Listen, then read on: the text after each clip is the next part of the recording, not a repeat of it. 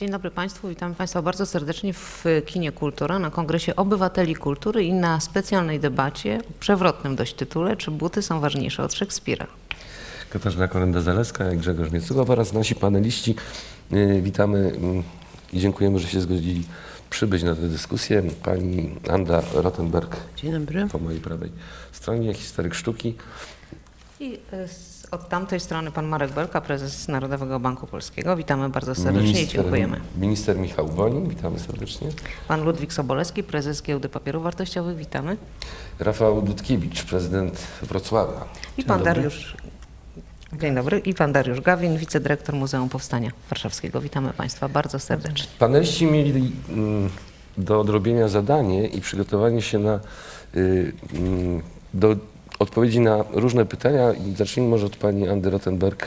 Mm, Temat zaproponowany pani Andzie był taki. Odbiorca, inspiracja czy ograniczenie wolności tworzenia ze znakiem zapytania. Proszę jeszcze, bardzo. jeszcze krótka uwaga. E, Wszyscy nasi paneliści wygłoszą mm, swoje wystąpienia, a później zachęcamy Państwa do debaty z nimi i między sobą.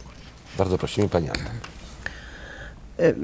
Ja muszę, może zacznę od tego, że ja się troszkę zbuntowałam przeciwko temu zadaniu domowemu. Nie odrobiła Pani. O, Nie, ja je odrobiłam i mam nawet napisane pół strony, ale uznałam, że jeżeli mówimy tutaj o pakcie dla kultury, który jest umową społeczną między twórcami kultury a jej odbiorcami, to musimy sobie może odpowiedzieć na pytanie, co jest niedobrze i dlaczego jest tak niedobrze. Jak będziemy mm, mówić o tym, że istnieje konflikt między odbiorcą a e, twórcą, czy też twórcą między odbiorcą, to w ciągu pięciu minut my tego e, konfliktu nie zdiagnozujemy. Ja oczywiście mogę powiedzieć o tym, że teoretycznie w takim przepływie komunikatu między twórcą i odbiorcą, to ten komunikat idzie od twórcy do odbiorcy, ale punktem wyjścia dla twórcy do tworzenia sztuki jest ten odbiorca. Nie e, pojedynczy, tylko masowy albo grupowy. E, sztuka dzisiaj bardziej niż kiedy indziej jest jednak lustrem zachowań społecznych, obyczajów i wad. I może dlatego odbiorca nie chce się w tej sztuce przeglądać. A jak już się przyjrzy, to widzi siebie w, y, nie w lustrze czystym, tylko w krzywym zwierciadle. W związku z tym się obraża i y, reaguje w ten sposób, żeby poprzeszkadzać temu twórcy albo poprzeszkadzać w, w, w oglądzie sztuki. E, Są różne reakcje. Wiemy bardzo dobrze, że, mm, że mm, co pewien czas w rozmaitych społeczeństwach, w rozmaitych krajach i w rozmaitych systemach istnieje coś takiego jak skłonność do wpuszczenia sztuki w koryto, uregulowane koryto. To się udaje na chwilę, ale nigdy na długo i to nie daje dobrych rezultatów. Wobec tego należy sobie zadać pytanie, jak gdyby dwa pytania. Jedne, dlaczego społeczeństwo źle reaguje na sztukę? I drugie, jak to się dzieje, że politycy na to pozwalają? Pierwsze pytanie, na pierwsze pytanie odpowiedź jest prosta. Społeczeństwo w Polsce nie jest do sztuki wyedukowane. A nie jest wyedukowane, bo też nie ma się gdzie edukować. Ponieważ na kilka mu- muzeów narodowych, nawet w całej Polsce, właściwie poza Łodzią nie ma galerii sztuki współczesnej ponad no, nazwijmy to, która pokazuje więcej niż sztukę polską. Więc nawet jeżeli tam się w innych miastach odbywają lekcje muzealne, to bardzo trudno przygotować dzieci do odbioru czegoś, czego w tej galerii nie ma. Żeby było, należy robić zakupy, już przynajmniej nadrabiać. Ja nie mówię, że dzisiaj będziemy kupować Picassa, bo już nas na to nie stać, ale kupujmy to, co się dzisiaj dzieje i przyzwyczajmy, przyzwyczajajmy te dzieci do tego, żeby oni jak będą dorośli, inaczej reagowali na sztukę swojego czasu, niż reagują dzisiejsi dorośli na sztukę dzisiejszego czasu. To jest elementarz, którego e, nie ma sensu powtarzać, ale wciąż nie jest rozwiązany.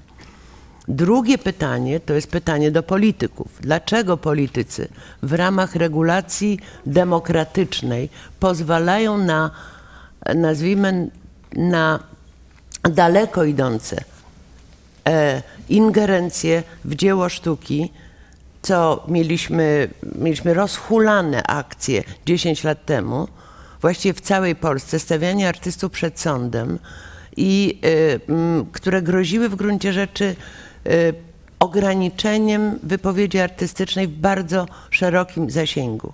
Pytanie jest, dlaczego tak się stało? Na szczęście tego dzisiaj już nie obserwujemy, ale to zawsze może wrócić, tak jak wraca w Rosji czy w wielu innych krajach.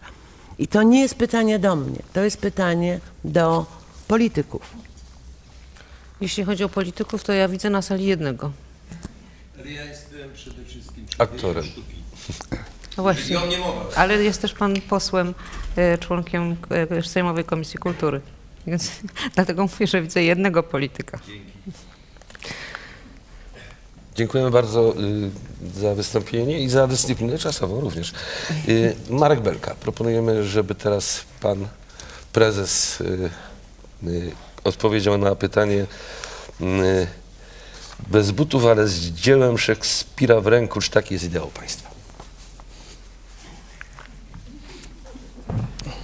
Buty też mogą być dziełem Jest taki sztuki. mit, że artysta może nie mieć butów albo głodnym chodzić i, i tworzy wielkie dzieła. Uważam, że to jest e, e, bzdura historycznie, em, historycznie sfalsyfikowana. Spójrzmy, gdzie e, powstawały największe szkoły malarstwa w krajach najbogatszych. Nie oszukujmy się, buty są ważniejsze niż Szekspir, ale jak już są buty, to y, chodzi o to, żeby ten Szekspir się pojawił.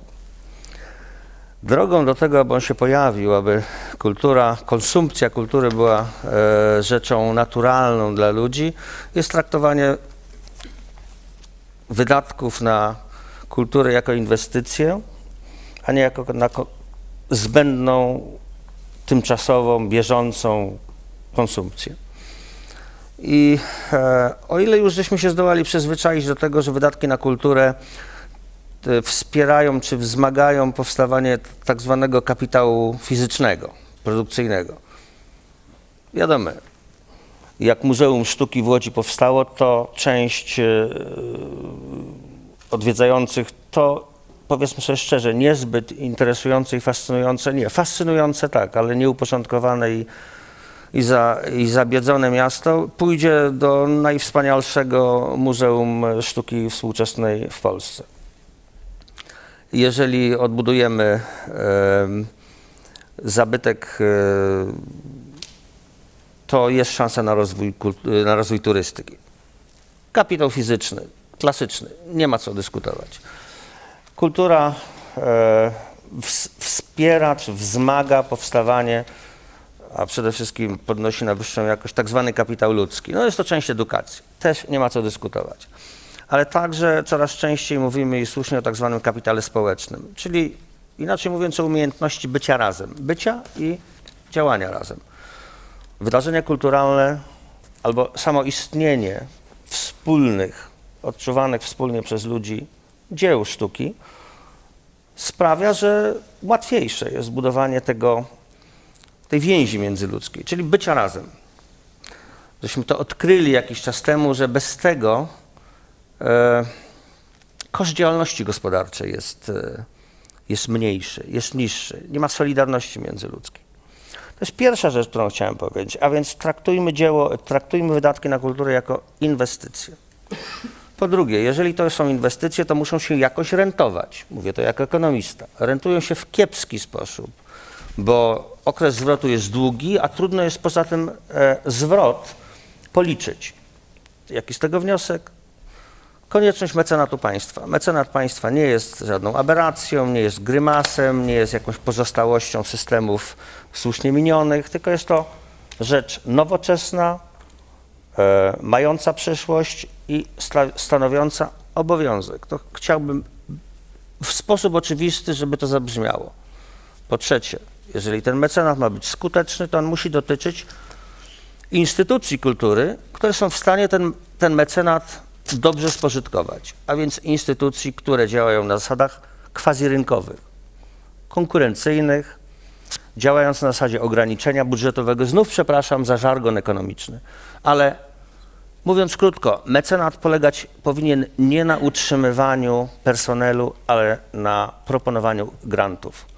Przede wszystkim na to, aby instytucje kultury prywatne, samorządowe, lokalne, społeczne, państwowe wreszcie ubiegały się o wsparcie państwa.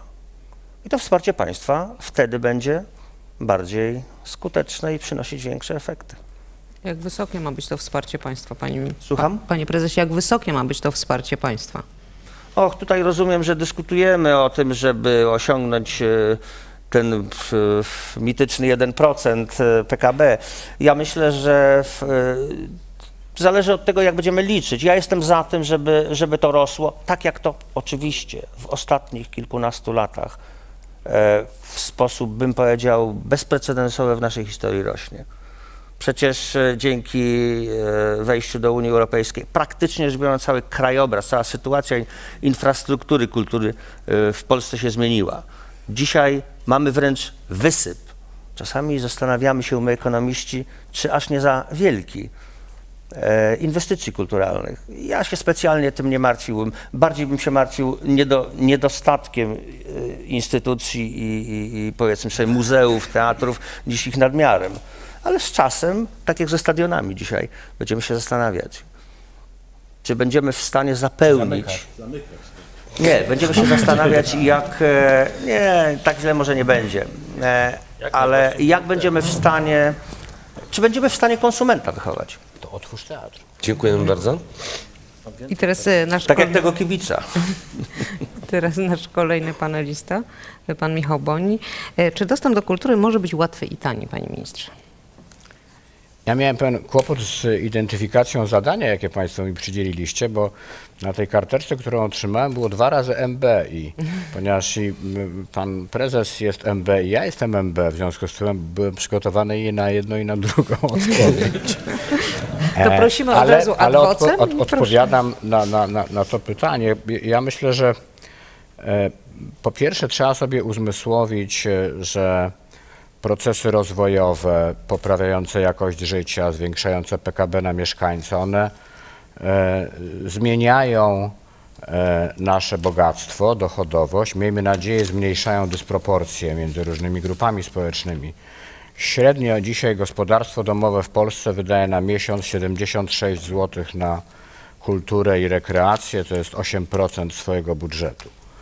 E, I to oczywiście nie jest dużo pieniędzy, to z punktu widzenia, tak, z punktu widzenia, e, z punktu widzenia takiego prostego porównania, ale porównanie jest nadmiernie proste, w związku z tym ono, ono jakby samo niszczy, sa, sam, samo niszczy e, sens tak, tak stawianego porównania.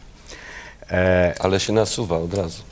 no, nasuwa się tylko problem, polega na tym, że gdybyśmy chcieli dzisiaj przeznaczyć 8% budżetu państwa na szeroko pojętą kulturę, to jest oczywiście pytanie o to, jak definiować w, w statystyce, bo spychacie mnie Państwo w trochę inny wątek. W statystyce jest tak, że ta wydatki gospodarstwa domowego to jest kultura i rekreacja. No więc równie dobrze możemy powiedzieć, że jak policzymy wydatki stricte budżetu państwa, budżety samorządów i tak dalej, to wychodzi mniej więcej, cztery razy więcej niż dzisiaj, czyli prawdopodobnie około 4% budżetu już dzisiaj. Nie mówię tego, żeby się bronić i żeby mówić, że wydajemy odpowiednio dużo w budżecie państwa na kulturę, tylko żeby pokazać, że takie łatwe porównania nie zawsze prowadzą do dobrych wniosków. To, co ważne, to chyba uzmysłowienie sobie, dlaczego dzisiaj w XXI wieku dostęp do kultury powinien być łatwy, jak najszerszy i możliwie tani. I ta odpowiedź jest inna niż padała w różnych debatach publicznych 50 lat temu, 100 lat temu, czy może nawet jeszcze w Polsce kilkanaście lat temu. Bo dzisiaj ja bym tę odpowiedź zbudował w sposób następujący. Jeśli Polska chce się rozwijać i mieć swoje przewagi konkurencyjne w różnych dziedzinach, także w gospodarce, to musimy wzmacniać potencjał kreatywności i innowacyjności. Nie tylko kapitał społeczny, ale kreatywności i innowacyjności. I dostęp do kultury, nie wszyscy jeszcze to rozumieją, jest tutaj kluczem. Dlaczego? Dlaczego? Dlatego, że dostęp do kultury, kultury różnych obiegów i popularnej, masowej, a, e, i, i, i wysokiej, jest e, czymś, co uruchamia wyobraźnię, co kształtuje wyobraźnię, co poszerza horyzonty wyobraźniowe właśnie. Nieprzypadkowo IBM, jak inwestuje w e, nowych informatyków, fundując studia, to mówi, że elementem tych studiów powinno być artes liberales, no jakiś rodzaj dostępu do, do wiedzy tak, o sztuce czy o różnego typu sztukach. I teraz e, wiedząc to, trzeba sobie zadać pytanie, jakie są obszary, w których państwo może działać. Pierwszy obszar to jest budowanie nawyku kulturowego. Zaniedbaliśmy to, no bo zostały ze szkół wyeliminowane różne przedmioty, które może nie każdy z nas wspomina lekcję śpiewu najlepiej ze, swojego, ze swojej własnej szkoły podstawowej. No niemniej jednak nie prosta lekcja śpiewu, ale kontakt tak, z przedmiotami e, e, takimi, które uczą wrażliwości na dzieło plastyczne, na dzieło muzyczne, e, chyba jest bardzo ważny i w związku z tym to wypracowywanie nawyku korzystania z kultury w e, systemie edukacji jest e, bardzo ważne. Po drugie, E, ono jest ważne jeszcze z jednego powodu i to na różnych szczeblach edukacji, także na poziomie edukacji wyższej. Jesteśmy świadkami bardzo zasadniczego w sensie społecznym e, przełomu w procesach społecznych właśnie. E, widać, że dla młodej generacji wykształcenie stało się nowym czynnikiem dywersyfikującym społecznie. To jest z jednej strony można powiedzieć źle, ale z drugiej strony dobrze, bo można E, zmniejszać dywersyfikację, zróżnicowanie społeczne, zapewniając różnej jakości dobrą edukację w różnych e, dziedzinach. Edukacja zatem to jest pierwsza kwestia. Druga to jest dostęp do kultury w tych miejscach, które są oddalone od centrów kulturowych w naturalny sposób we współczesnym świecie. Ośrodki wielkomiejskie no mają tej oferty kulturalnej o wiele więcej. I to jest pytanie o biblioteki lokalne, to jest pytanie o ośrodki kultury. Są już takie programy przygotowane, realizowane. To jest pytanie o pieniądze na zakup książek do tych bibliotek, o nowoczesną bibliotekarkę, o informatyzację tych bibliotek, bibliotekarkę i bibliotekarza oczywiście i tak dalej, i tak dalej. Niesłychanie, e, niesłychanie istotny wątek, żeby ta kultura E, taka e, dotykowa, dotknę, dotknę książki, może będzie jakiś występ, spotkanie z kimś, żeby to było relatywnie e, blisko miejsca zamieszkania. I trzecia rzecz to jest wykorzystanie różnego rodzaju nowych mediów i nowych nośników do jeszcze większego procesu demokratyzowania dostępu do kultury. Jesteśmy świadkami możliwości technicznych digitalizowania wielkich zasobów kultury, a tym samym udostępniania ich w takiej skali, jak nigdy w historii ludzkości to nie było. I moim zdaniem to jest też bardzo ważny, e, bardzo ważny obowiązek państwa. E, jak pytamy o to, czy taniej, tak, no to e, mnie się wydaje, że trzeba troszkę zekonomizować to myślenie. Wtedy, kiedy nawyk kulturo, korzystania z kultury byłby mocniejszy i powszechniejszy, no to widzów byłoby, odbiorców, tak, tych potencjalnych byłoby więcej. No oni w oczywisty sposób e, kreowaliby też i to, że jest, jeśli jest ich więcej, no to być może cena biletu może być e, tańsza w taki prosty sposób analizy podaży i popytu. E, jeśli by ta dostępność była większa na tych obszarach lokalnych, no to ona, jeśli ma spełnić swoją funkcję, a nie ma być fasadowa, musi być relatywnie tania, nawet jeśli wtedy, nawet jeśli miałaby być dotowana, tak jak powinny być dotowane zakupy książek do bibliotek publicznych, szczególnie działających lokalnie.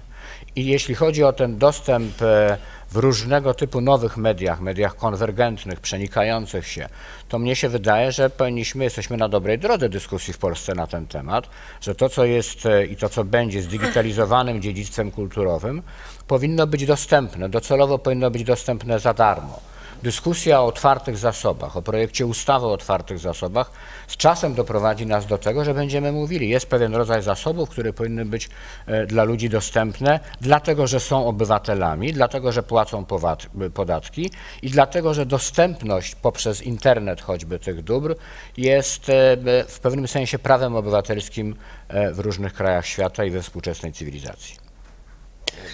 Dziękujemy bardzo panu, panu ministrowi. I może teraz po kolei prezes Ludwik Sobolewski i wrócimy troszeczkę do tego, o czym mówił już pan profesor Belka, bo temat brzmi mecenat państwa dla sztuki. Sensowna inwestycja czy szantaż wąskiej grupy społecznej? No właśnie, mam nadzieję, że się nie mylę, że rozmawiając o kulturze i o sztuce, y, rozmawiamy mm, o pieniądzach. Też. Y, czyli o finansowaniu kultury sztuki I tutaj padły takie pojęcia, które e, są w tym kontekście kluczowe, czyli kapitał społeczny, kreatywność, innowacyjność. To oczywiście są takie pojęcia wieloznaczeniowe, ale jeżeli mamy rozmawiać o finansowaniu kultury, to trzeba podkreślić, że to są pojęcia kluczowe właśnie dla biznesu. To są pojęcia kluczowe dla biznesu. Właściwie punkt wyjścia dla mnie jest taki, jak zrobić, żeby e, biznes zaangażował się w kulturę nie dlatego, że y, tak wypada, tylko dlatego, że To się e, opłaca. Tak, że, ma, że on ma w tym jakiś interes, tak powiem brutalnie. E, Czyli, czyli jak zrobić, żeby nie tylko było tak, że e, kultura e, potrzebuje biznesu, bo potrzebuje pieniędzy, ale żeby ta druga strona potrzebowała, potrzebowała również e, kultury. No ja do tego dochodzę, a powiem szczerze, że jestem neofitą na ten temat. I to są takie, że tak powiem, może nie tyle odkrycia, co pewne przekonania, które powziąłem stosunkowo niedawno. Dochodzę do tego poprzez właśnie te pojęcia jak innowacyjność, kreatywność, e, kapitał społeczny, które poprawiają kooperację pomiędzy ludźmi, które przez to stają się czynnikiem em, dynamizowania wzrostu gospodarczego. Łatwo stosunkowo to jest w Polsce zauważyć, bo zdaje się, że ym, my nie cierpimy na nadmiar tego kapitału. Raczej jest odwrotnie. Badania y, to też potwierdzają, że się zupełnie negatywnie wyróżniamy pod tym względem. I teraz e, powiem Państwu, że y, świat instytucji finansowych, rynku kapitałowego, który ja w jakiś sposób yy, może nie, że reprezentuję, ale wydaje mi się, że mam dużą wiedzę na temat tego, co dla niego jest tematem czy tematami. On nie uważa kultury za temat. Nie uważa. E, przynajmniej nie uważa za jeden z ważniejszych tematów.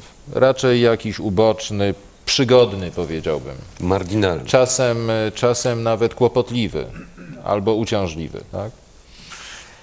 Więc żeby dla biznesu to się stało tematem, to trzeba właśnie sam biznes wyedukować pod względem tego, jakie znaczenie dla konkurencyjności, dla y, jakości prowadzenia działalności gospodarczej i dla zdolności bycia konkurencyjnym ma y, zanurzenie w tym, w tym kulturalnym oceanie.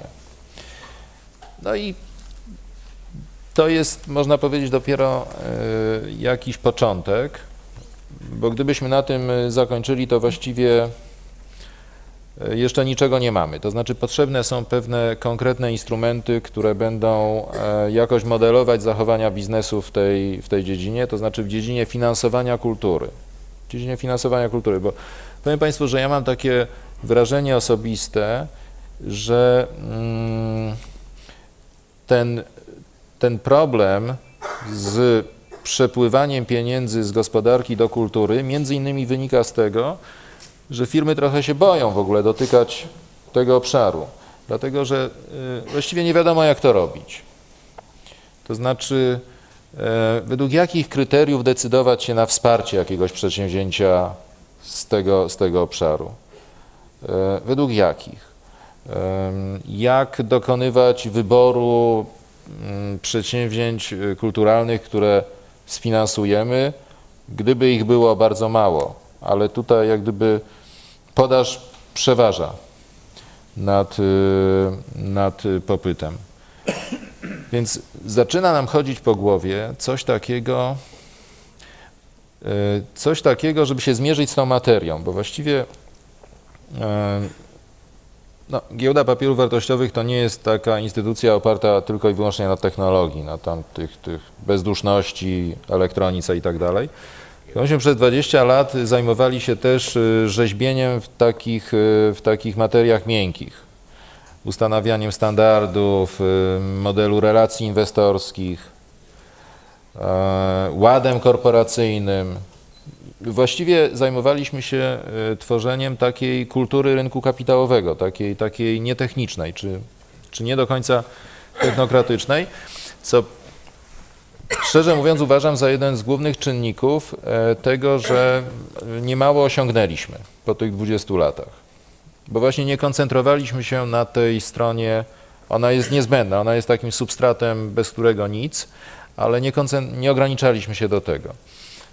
Czyli, bardzo wiele się działo w sferze takiego jak gdyby układania relacji pomiędzy uczestnikami i użytkownikami e, rynku finansowego. Otóż wydaje mi się, że w związku z tym mamy pewną tutaj możliwość, żeby teraz w tym kierunku pójść. I może stworzyć coś takiego jak zasady dobrej praktyki, jeśli chodzi o finansowanie kultury przez spółki giełdowe, żeby, żeby powstało jakieś, jakieś oparcie dla takich ewentualnych działań, żeby to było przejrzyste.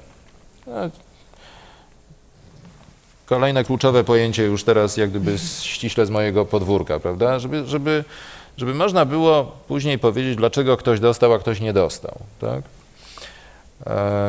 I żeby to nie była decyzja arbitralna, żeby po tej stronie dających y, pieniądze nie było żadnej sztuki, żadnej, tu nie było jakiejś twórczości y, nadmiernie y, kreatywnej, tylko żeby właśnie było to takie dosyć rygorystyczne, dosyć przewidywalne. Tak. Oczywiście no, może też i na tym cierpieć teraz kto będzie beneficjentem, prawda? Garda ucierpi. Mm, Właśnie, więc to muszą być jakieś inteligentne zasady zarazem. E, Dalej, są pewne instrumenty takie mm, jak na przykład y, indeksy giełdowe. Wiem, że to potwornie brzmi technicznie, ale to są takie narzędzia, że inwestorzy, e, a ja mogę się pochwalić, że to nie tylko krajowi inwestorzy, ale już pół świata czy trzy czwarte świata w jakimś sensie w Warszawie jest, na giełdzie warszawskiej jest, używa tego dla dokonywania decyzji, dla podejmowania decyzji, jakim spółkom dajemy kapitał. I, I już się patrzy nie tylko na wynik finansowy, na zysk, na koszty, ale się patrzy na przykład na to, czy firma jest odpowiedzialna społecznie, e, jakie ma praktyki zarządcze, czyli znowu takie bardzo miękkie rzeczy, ale ważne, dla inwestorów ważne, bo czerpią e, z inwestycji w firmę, która ma te mm, kwalifikacje, przekonanie, że ta inwestycja, nawet jak nie będzie jakaś bardzo fantazyjna, jeśli chodzi o zyskowność, to będzie Lepsze. bezpieczna. No, zwłaszcza w dzisiejszych czasach jest to bardzo poważna korzyść. A więc może tam wpleść y, jakieś takie elementy, które by eksponowały firmy, które, jeszcze raz powtarzam, nie dlatego, że mają dobre serca, nie dlatego, że to jest jakiś element działalności charytatywnej, nie dlatego, że doprawdy wypada, żebyśmy rzeczywiście od czasu do czasu jakąś, y, ku jakiejś prośbie się przy, przychylili, Tylko tylko, dlatego, że inwestycja. rozumieją ten związek pomiędzy tym takim jak gdyby ogólnym podniesieniem kulturalnym e, społeczeństwa, w którym przedsiębiorstwo działa, Mhm. e, a e, prosperity tego przedsiębiorstwa i jak gdyby generalnie konkurencyjnością całej, całej gospodarki. Ale Tylko powiem nie- szczerze, że to problem jeszcze jaki trochę mam, zwłaszcza, że jestem właśnie tym neofitą, to jest, że mm, w, to dosyć łatwo uwierzyć, w to Young Team, bo on dobrze brzmi, to, a nawet, na, nawet ma przekonywującą treść. Trochę brakuje tutaj pewnych takich e, twardszych dowodów na, na istnienie tej relacji. Jakby jeszcze to wzmocnić od tej strony takiej dowodowej, tak, Naprawdę. No, Ja to zaraz, przepraszam, ja to zaraz ale zrobię. każdy ma jakieś swoje ograniczenia. Y, To wtedy byłoby łatwiej, to wtedy byłoby łatwiej. Ale tak z tym biznesem i wsparciem kultury chyba nie jest tak źle patrząc z boku. Bardzo często przecież twórcy dostają wsparcie od biznesu, bo państwo jest za biedne, żeby dawać na filmy, na wielkie przedstawienia. No, ale właśnie chodzi pewnie panu prezesowi chodziło o motywy, że to nie są motywy polegające na tym, że to jest po, po prostu interes. Że, ale są, panie prezesie, takie badania, które mówią, że tam, gdzie ludzie więcej czytają, te kraje się rozwijają szybciej. Na przykład. Teraz e, poprosimy pana Rafała Dudkiewicza, prezydenta Wrocławia. Panie prezydencie, czy kultura jest dobrem, czy zbytkiem, na który sobie nie możemy pozwolić? Prowokacja.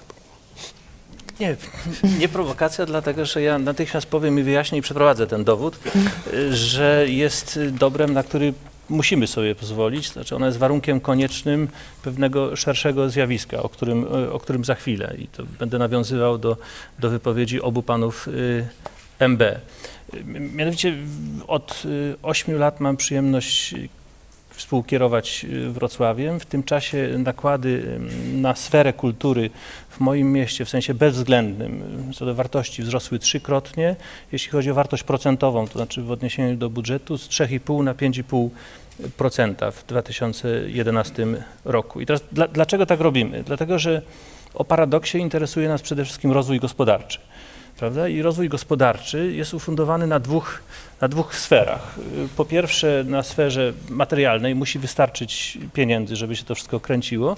Po drugie, jednak na sferze, powiedziałbym, duchowej, która jest sferą, sferą związaną z funkcjonowaniem zjawisk, z funkcjonowaniem kultury. I to jest pierwszy poziom niezbędny. A drugi jest taki, o którym właśnie Michał Boni opowiadał. Otóż prze- przejdźmy do sfery materialnej, tak? bo coś mam zrobić. Nie, pan? Nie, nie, proszę. do, do sfery materialnej I, i zastanówmy się, skąd się biorą, skąd się biorą, skąd się biorą pieniądze, prawda? I, i jeśli chcieć jakoś, jakoś przybliżyć ilość pieniądza cyrkulującego w jakiejś przestrzeni, to jest ułomne przybliżenie, ale można wziąć ilość miejsc pracy w mieście na przykład razy średnia zarobków. Tak? To jest iloczyn. Ilość miejsc pracy razy średnia zarobków. Jeśli chcieć, żeby pieniędzy cyrkulujących w danej przestrzeni było więcej, a im więcej, tym na więcej rzeczy możemy sobie pozwolić, to trzeba zwiększać ilość miejsc pracy, tak? ale tego się nie da robić w tym samym tempie w nieskończoność, więc w pewnym momencie trzeba pomyśleć o tym, żeby zarobki zaczęły rosnąć. Zarobki zaś mogą rosnąć jedynie w taki sposób, który jest akceptowalny dla gospodarki, co oznacza w kategoriach produkcyjnych, że my musimy produkować albo więcej, czyli efektywność procesów produkcyjnych musi być wyższa, albo musimy produkować lepsze rzeczy, czyli musimy być właśnie innowacyjni. A nawet jeżeli produkujemy, produkujemy więcej, to musimy być w stanie sprzedać nasze produkty, czyli znów musimy być innowacyjni. I teraz okazuje się, i o tym mówił, o tym mówił Michał Boni, o tym mówił pan, pan premier Belka, o tym trochę mówił Ludwik Sobolewski, że trzeba spełnić pewne warunki społeczne, aby można było tworzyć innowacje. I te warunki społeczne związane z możliwością wytwarzania innowacji są bardzo proste. Otóż społeczeństwo, mówił o tym Richard Flori- Florida, mówiło bardzo wiele osób, społeczeństwo musi być otwarte, tolerancyjne, ale musi być jak najszerzej zanurzone w sensie uczestniczenia, uczestnictwa w kulturze, zarówno w sensie konsumpcji, jak i współtworzenia. I dlatego na to pieniądze publiczne wydawać absolutnie warto i trzeba. Przy czym mnie się wydaje, że to jest tak, to jest pewne uproszczenie i tu się nie zaczepiam z Ludwikiem, ale mi się wydaje, że to jest tak, że biznes ma płacić podatki, tak? I niech biznes płaci jak najwięcej W podatków, Polsce. Natomiast mecenas publiczny, państwo jako takie, kolekcjonując jak największą ilość podatków, powinno możliwie wiele wydawać na to, aby sfera kulturalna rosła i aby tym samym ilość podatków zebranych w przyszłości była coraz Większa. większa. Amen. Dowód uważam za przeprowadzony. I ostatni panelista, y, pan Dariusz Gawin.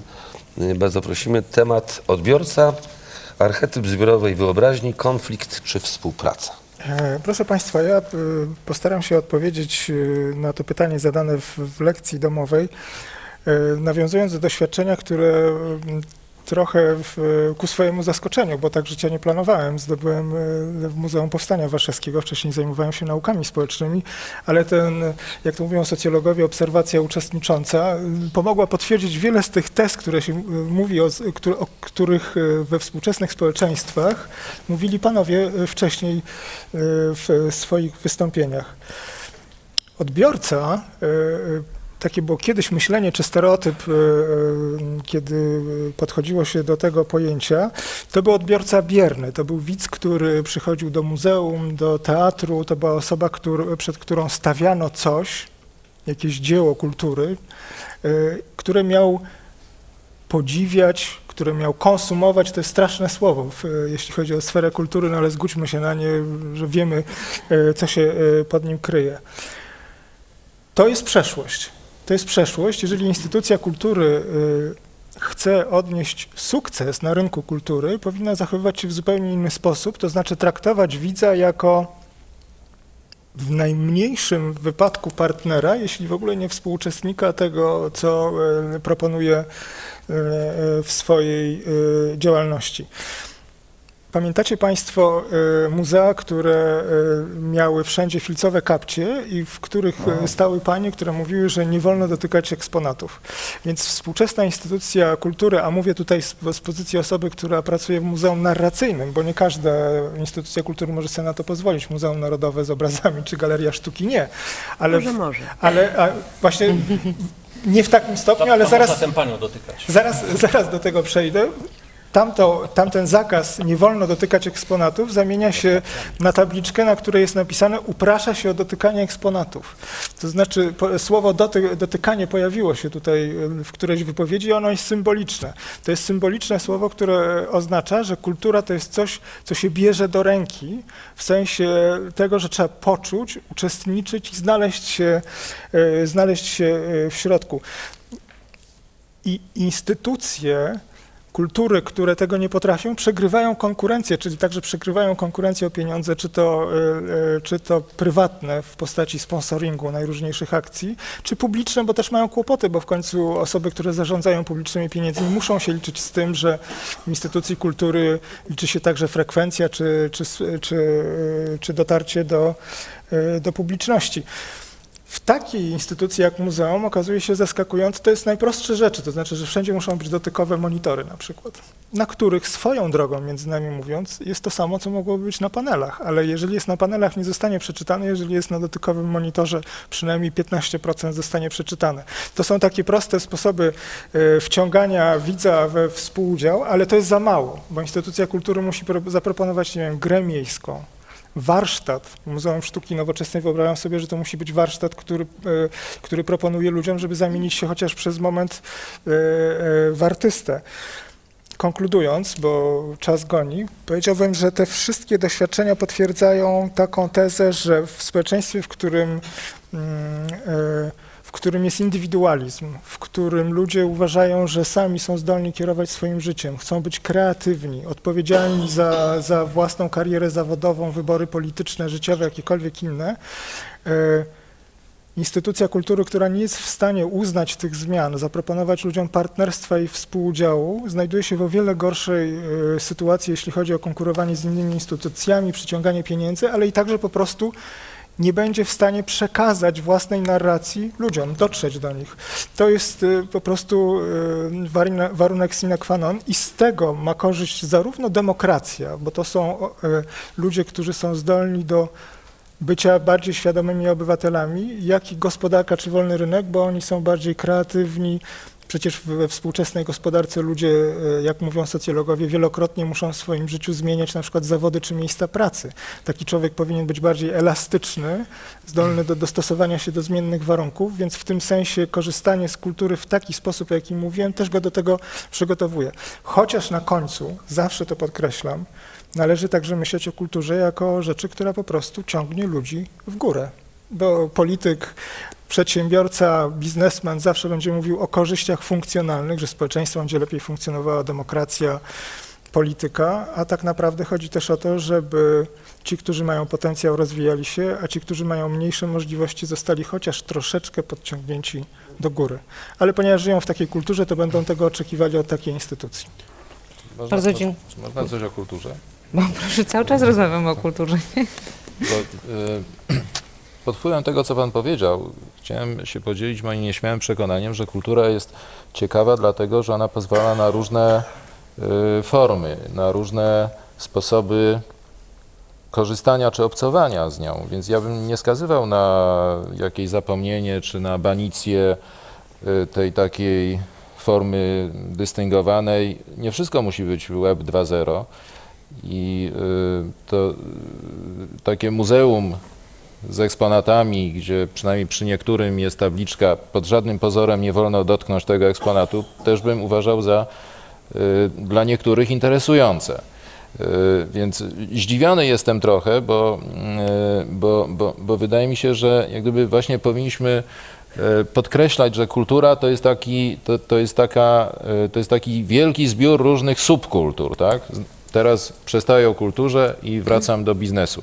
Wtedy biznesowi ta kultura wyda się bardziej też e, jak gdyby kusząca, bardziej kusząca, ona nie będzie taka monolityczna, że teraz przeszliśmy na taką formę na przykład muzeum, że koniecznie nie tylko, że wchodzimy do środka eksponatu, ale nawet stajemy się jego częścią. To, to jest bardzo fajne, to jest y, jak gdyby... Niech e, będzie. To niech będzie, to niech będzie, to niech się rozwija. Ale te jakieś takie inne formy y, trącące myszką, może akurat dla niektórych byłyby ekscentryczne. No ale e, mnie się wydaje, że pan też pokazał tylko taki przykład, bo przecież nawet w Muzeum, Wojs- y, Muzeum Powstania dzieci się nie mogą bawić prawdziwymi granatami, prawda? Więc Przynajmniej gdzieś na ta- razie. Gdzieś ta... E, m, To, to jeszcze nie, nie Ale, ale to ja bym powiedział e, tak, że co więcej, e, w ogóle się nie mogą bawić nawet plastikowymi karabinami, ponieważ e, w sali małego powstańca nie ma żadnych zabawek, no, ale które w hełmach broń. powstańca wychodzą z tego muzeum i każdy z nich chciałby być małym powstańcem zginąć na barykadzie. Muszę tutaj Więc- sprostować jeden szeroko rozpowszechniony mit, e, polegający na tym, że w naszym sklepiku można kupić powstańcze hełmy. Zgłosił się do nas taki przedsiębiorca, ale żeśmy mu podziękowali. No to nie wynoszą w takim To razie, była- bo ja widzę taki wysyp dzieci. Wszyscy z to nie od Państwa nas. To nie od was, tak? To była podstawowa część, podstawowa część panelu pod tytułem Czy buty są ważniejsze od Szekspira? Panelu y, zorganizowanego w ramach Kongresu Obywateli Kultury. Bardzo panelistom i bardzo Państwu dziękujemy. I możemy przejść dalej. No teraz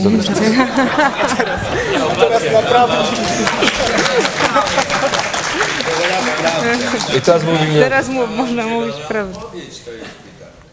Proszę. Teraz rozmawiamy o seksie. Udzielona odpowiedź na pytanie. To jest pytanie. w sprawie butów i Szekspira. Szekspira. Nie jest udzielana od Powiedział, 20 że buty lat. ważniejsze. Ja powiedziałem, że buty ważniejsze. Zależy jakie buty. A czy jest pytanie na przykład, że jest możliwość stwierdzona przez prezydentów też miast, Ale nie, nie że zadawaj kultura takiego może pytania. przynosić... Trzeba być w butach na weselu. O, To jest debata już. Fedor, gotowa jesteś. Nie można zadać pytania. Proszę, Proszę, proszę. proszę. Nie, no bo przepraszam, jestem właśnie z Krakowa, jestem też politykiem, w związku z tym e, wziąłem na siebie to, co, e, co usłyszałem też, ale w końcu biorę udział w takiej debacie po raz 40 i to nie tylko e, w kraju, ale i za granicą. No, ciągle o tym samym mówimy. I dobrze. I, bardzo jest dobrze. Tylko miałem okazję pracować z panią Pasło-Wiśniewską, która była posłem naszym i przygotowaliśmy dla pana prezydenta Uszoka w Katowicach Przygotowaliśmy mm, taki, y, wzięliśmy udział w takim panelu, w którym miała tę część, y, że tak powiem, filozoficzno-historyczną dotyczącą miast. E, Opracowywałem, a, a, a zawodowy ekonomista, premier wie, dyrektor banku poważnego, ona przygotowała część finansowo-ekonomiczną, z której wynika, że kultura jest, y, mm, jest tym elementem, który może przynosić ogromne dochody.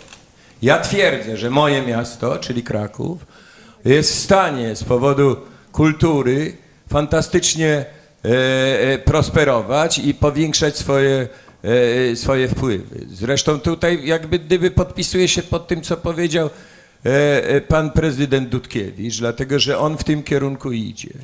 I teraz, czego my potrzebujemy od takich ludzi jak ja, czyli ja, człowiek sztuki, zostałem posłem po to, żeby stworzyć formy, w których my byśmy mogli, artyści, funkcjonować lepiej. I spory, które toczyliśmy i dzięki temu, temu spotkaniu, one, one nabierają jeszcze bardziej publicznego wy, wymiaru. Ale spory to, to ciągle toczyliśmy od czasu pana premiera Balcerowicza, od czasu po piwku. Nawet dzisiaj panel, w którym brałem udział dotyczący e, u, u zamówień publicznych, VAT-u i tak dalej. Musimy spróbować, my politycy i wy ekonomiści, żeby się okazało, że my twórcy jesteśmy w stanie przynieść bardzo poważny dochód e, krajowi czy też miastu jakiemuś. I co jest udowodnione.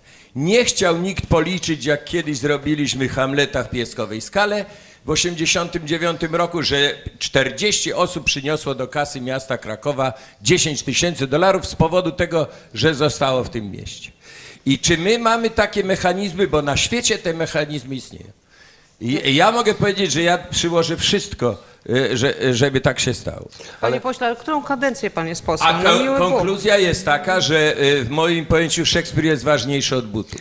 Ale panie pośle, to jeszcze dodam, że i o kulturze, i o na przykład inwestycji w naukę mówią wszyscy premierzy podczas expose.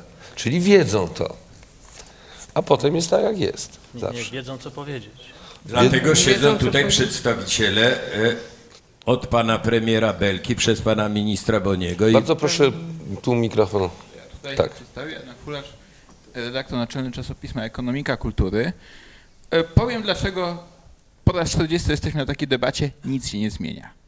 Jeżeli przeznaczymy więcej środków na kulturę w Polsce, to jest jakaś szansa, że one zostaną też troszeczkę zmarnotrawione. Proszę Państwa, Filharmonia, dla przykładu w Polsce, jest jednocześnie zarządcą budynku. Czy oczekują Państwo po dyrektorze artystycznym Filharmonii, że będzie sensownie zarządzał budynkiem? W innych krajach takie budynki jak Filharmonia no są ce- centrami kongresowo-kulturalnymi.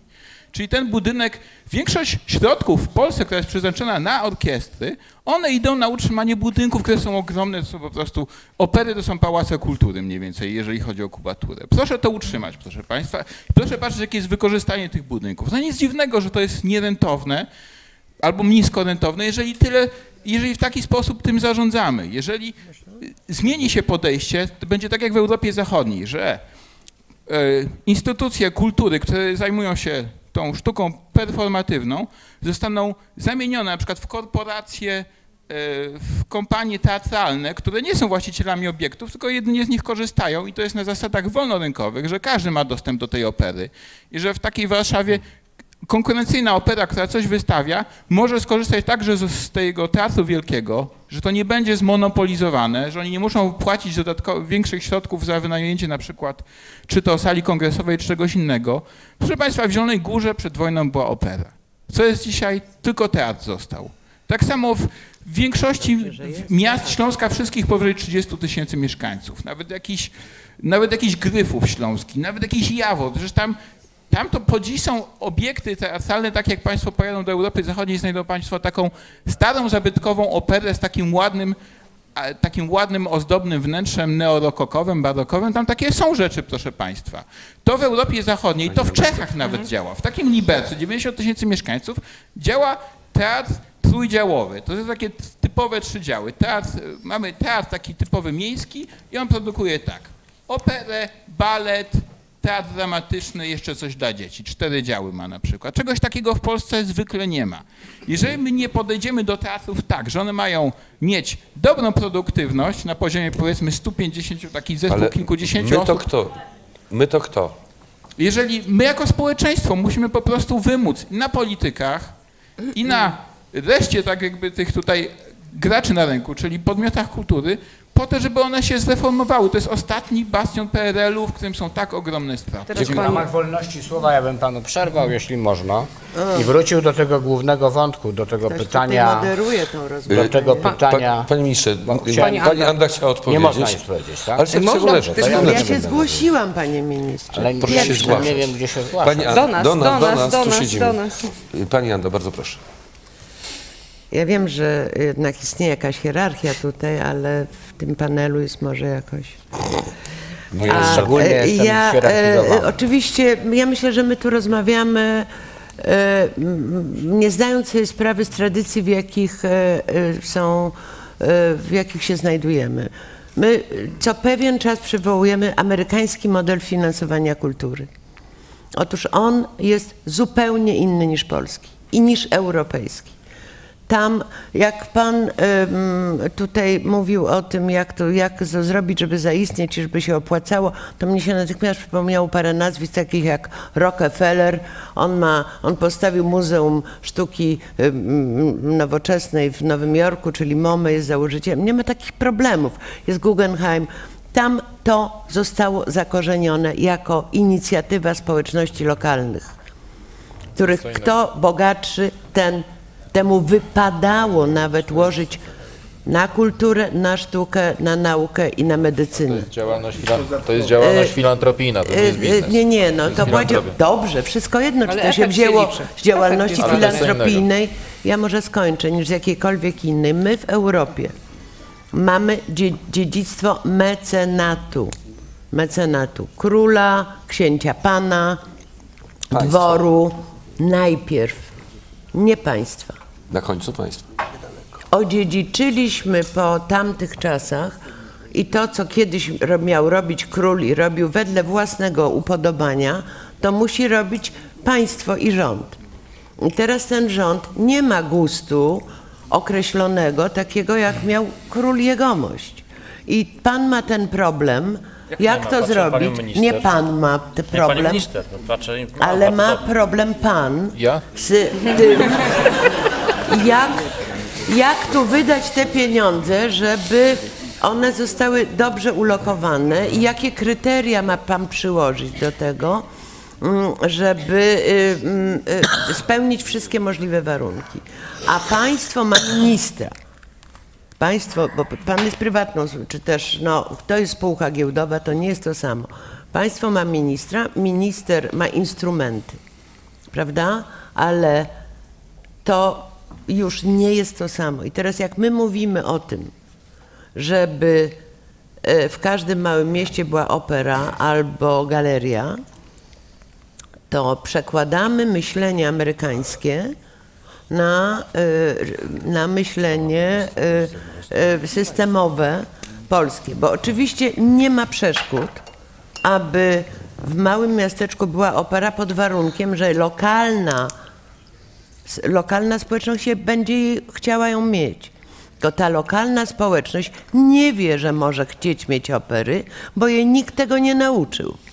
Ponieważ odziedziczyliśmy po poprzednim ustroju taki sposób myślenia, że można tylko dostać, a nic samemu zainicjować nie można. A nawet jak się zainicjuje, to blokada zespołu urzędników, którzy nie wyobrażają sobie, że można mieć inicjatywę oddolną, powoduje totalną bezradność wszystkich. W związku z tym raczej chodziłoby o to, żeby nie przeszkadzać, prawda?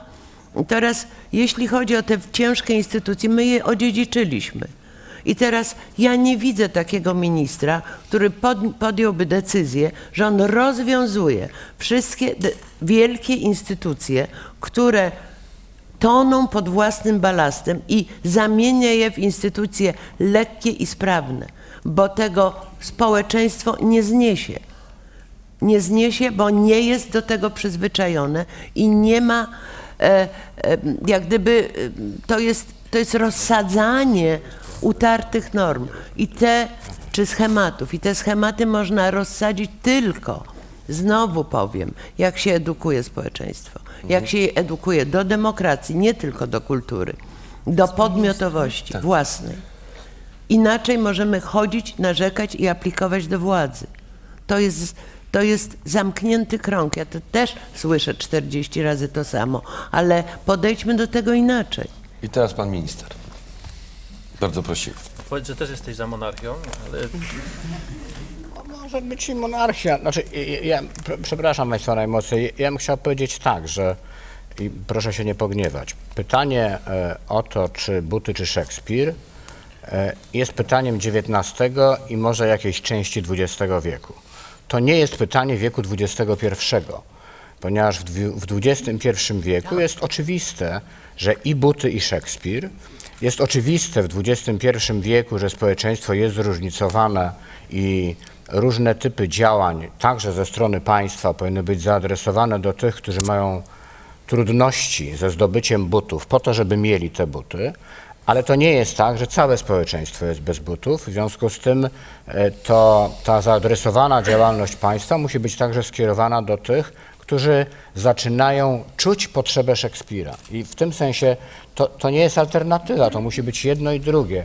I w, w, momencie, kiedy wychodzimy poza takie proste powiedzenie, czy wydawać pieniądze na kulturę, czy wydawać pieniądze 50 lat temu zadawano to pytanie, na rozbudowę przemysłu ciężkiego, a dzisiaj ono się przekłada w języku na zupełnie coś innego, czy wydawać pieniądze na kulturę, czy na autostrady. To jesteśmy w tej samej pułapce, w tej samej pułapce nierozwiązywania. Znaczy problem polega na tym, że to też nie jest alternatywa, bo te boiska są także potrzebne. E, I kultura fizyczna jest potrzebna i ja b, b, od dwóch lat na różnych spotkaniach z udziałem przedstawicieli kultury toczę tutaj batalię i moim zdaniem, że tak powiem, jest trochę śmieszne, że, że nie umiemy dostrzec, że różne typy wydatków związane z różnymi potrzebami ludzi, także ze zróżnicowanym sposobem spędzania czasu wolnego. Są tacy, którzy Dlatego potrzebują macie w piłki zapisie nożnej. kulturę i rekreację razem i wtedy te wyniki, te 86 złotych, Proszę Panią, jeśli mogę łaskawie powiedzieć, ten zapis to nie my mamy, tylko to jest Eurostat, europejskie ustalenia dotyczące statystyki. no. Przytyk w stronę władzy zawsze jest łatwy do wypowiedzenia. nie, ja mówię w tym... nie, ale powiedziała ja Pani to nie- z określonym celem, więc ja w, w określony ja sposób mogę, odpowiadam. to ja mogę, przy, ja mogę zrobić przytyk w stronę władzy mm, bardzo prosty. Na przykład, jeżeli rozmawiamy, łatwo się rozmawia o kulturze, ale na przykład teatr telewizji zniknął i y, telewizja publiczna stała się łupem polityków. I Ale to Pan od- powiedział, że jest politykiem, Pan Od- który wyszedł. Pan. Nie, ale rozmawiamy od ogólnie, to nie jest przytyk. Ja publicznie deklaruję, że nie jestem Nie politykiem. tak, ale, ale od 20 lat y, mm, politycy nie są w stanie zwrócić mm, obywatelom ich własności, bo telewizja publiczna jest własnością obywateli. Panie redaktorze, pełna zgoda. To znaczy, ja nie będę polemizował. Uważam, że jest absurdem po raz kolejny, tak, że telewizja stała się miejscem e, przetargu, że jest podzielona między takie czy inne ugrupowania. Wolałbym, gdybyśmy umiejętnie, krok po kroku, poprawiając to, co jest do poprawienia, zrealizowali projekt e, e, złożony przez Komitet Obywatelski Mediów Publicznych i mam nadzieję, że do tego kiedyś wrzucimy, tak? Także pytamy Bo to jest- o pogląd to jest w tej sprawie. to- mam pogląd dosyć oczywisty to jest właśnie to, co- i bardzo pan bym chciał to przedstawienie teatralne e, e, z Wiśniewską i Gajosem, które było w ostatni poniedziałek. E, ulica jeszcze raz. Voltaire chyba, czy jakoś tak. Chciałbym, żeby ono było niekoniecznie o godzinie 22.15 czy 22.30, tylko tak jak ja, mając lat kilkanaście, O 20. oglądałem teatr telewizji o 20. U państwa Co do tego telewizji. zgoda, tak? I Ale to- problem polega na tym, żebyśmy zmienili, żebyśmy zmienili język dyskusji o kulturze, powiedzieli sobie i to jest potrzebne, i to jest potrzebne, bo moim zdaniem e, wtedy wytrącamy argumenty tym politykom, którzy uważają, że kultura jest właśnie nieważna, bo liczy się, liczą się tylko te buty, bo liczą się te autostrady, fabryki czy cokolwiek. Jedno i drugie się liczy i w tym sensie wtedy możemy wrócić do dyskusji e, na temat tego, jaką misją publiczną, publiczną powinny pełnić media i to media różnego rodzaju. Także media prywatne, które przecież e, Państwo reprezentujecie, w którym na moje mm, widza wyczucie za mało jest tego elementu kulturowego, tak, rozwijającego kulturę, a za dużo jest zbyt taniej rozrywki. Ale to nie jest znowu Rozumiem, przytyk. przytyk rządu do nas. Nie, nie, to jest, to jest powiedzenie, że wszyscy powinniśmy sobie uświadomić, Ty, jak, masz- ważną, jak, masz jak przytyku ważną rolę odgrywa, odgrywa to, to nowe pojmowanie to znaczy? kultury. Bardzo proszę. Ja nie widzę przeszkód, żeby TVN y, nie produkował ambitnych y, Ja też nie. spektakli teatralnych. Być może właściciele TVN widzą, ja nie. Ja chciałem zaapelować do Państwa prowadzących i do, do panelistów, żebyśmy nie wracali do dyskusji codziennie odbywa, e, odbywających się w mediach, tylko spróbowali porozmawiać o tym, czego właśnie w mediach się nie podejmuje przeważnie. Bo sprawa e, e, telewizji jest znana i codziennie omawiana. Otóż w tym wszystkim, co tu zostało powiedziane, w tych. E, Ja nie, e, nie lubię tej nowomowy, ale ją przyjmuję, że w ogóle chodzi, że, że, jak, e, że kapitał społeczny buduje kapitał finansowy. Proszę bardzo, można tak mówić. Ja, ja na pewno nie będę tego języka używał. Ale chodzi nam o to, żeby w ogóle była lepsza Polska i lepsi Polacy, tak?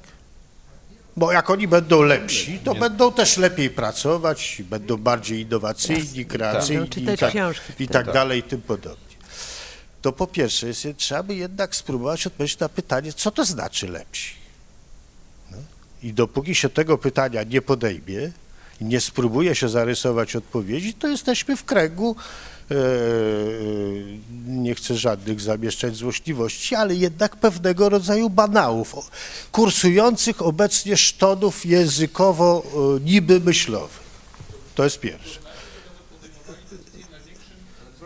Nie, nie, proszę, nie, nie, nie. To akurat zupełnie znaczy co innego, niech pan mi nie przerywa.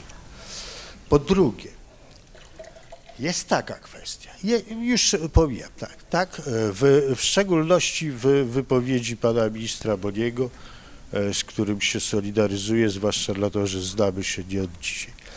Otóż, tak, trzy się pojawiły czynniki. Edukacja, wyższe wykształcenie i kultura. Państwie polskim nie ma żadnego wspólnego stołu, przy którym o tych trzech czynnikach dyskutuje się łącznie. Państwo polskie jest dokładnie zdepartamentalizowane. Reformę szkolnictwa robi się niezależnie od reformy szko- szkół wyższych, a projekt reformy tak zwanej e, sektora kultury robi się niezależnie od e, reform tych dwóch. To oczywiście nie jest e, przytyk do, do tego rządu lub do rządu, którego premierem był e, pan profesor Belka i w ogóle do żadnych, ale wszystko będzie pewnego rodzaju frazeologią, jeżeli taki stół, którym łącznie tej problematy e, dyskutuje się i rozpoznaje tą problematykę, nie zostanie postawiony i nie będzie przy nim rozmowy w języku stosownym oczywiście do XXI wieku, bo te e, dylematy, przed którymi nas tu stawiano, są naprawdę dylematami przeszłymi. Dziękuję. Bardzo proszę. Po- Powiem Państwu, że ja spędziłem ostatnie trzy dni na spotkaniach z analitykami i z zarządzającymi pieniędzmi, bo giełda ogłosiła wyniki finansowe po pierwszym kwartale. Oni szukali dziury w całym, ale tam był spokój i w ogóle brak emocji w porównaniu z tym, z temperaturą tej dyskusji. E, Tutaj to dopiero jest e, napięcie. Ale jeszcze nie padają e, określenia o mentalności radzieckiego działacza Nie, w stosunku do bardzo- ludzi kultury od mnie się to- ekonomistów. Mnie się to bardzo podoba w ogóle. Wydaje mi się, że po prostu my trochę nawrzucaliśmy tutaj, tutaj za dużo problemów do tej dyskusji i teraz dobrze byłoby je trochę poddzielać od siebie i wyróżnić takie, które są e, nudne i właściwie tu nie ma za bardzo o czym rozmawiać. A niektóre to są w ogóle anachroniczne. To znaczy, y, że taki problem jak gdyby, czy wybrać y, Szekspira, czy, czy buty, to jest, zgadzam się, mm, y, nie XIX-wieczny, średniowieczny chyba dylemat, mniej więcej. Gutenberga. Szek- Szekspira jeszcze nie było, ale podobno nie wiadomo, czy istniał w ogóle. I Rozmowa z perspektywy Warszawy. Drugi Ale problem, prezesie, drugi problem, Ja tylko wejdę drugi, panu słowo, bo to jest zdanie z perspektywy Warszawy. Niech pan zapyta tych ludzi w Bydgoszczy, nie w Bydgoszczy, tylko w Bieszczadach, czy jaką mają alternatywę. Bo rozmawiamy o takich dylematach, ale nie tylko z perspektywy Warszawy i giełdy. W Bieszczady jeździł Stachura, to wydaje mi się, że Bieszczady nie są też jakimś takim e, strasznie pustynnym terenem kulturalnie. E, Drugi problem jest, e, że mecenat państwa jest niedostateczny. To, to, to, to jest taki problem i może być taki problem, ale on też jest taki dosyć oczywisty. Wydaje mi się, e, przepraszam, że tak powiem, e, e, apodyktycznie, że jedyny ciekawy problem to jest taki, czy jest tak, że jak czytamy tego Szekspira i jednocześnie wszystkie te subkultury, tak, e, poznajemy, to chodzimy w takich butach, które są lepsze niż te buty, w których inni chodzą. I my sprzedajemy te nasze buty w dodatku.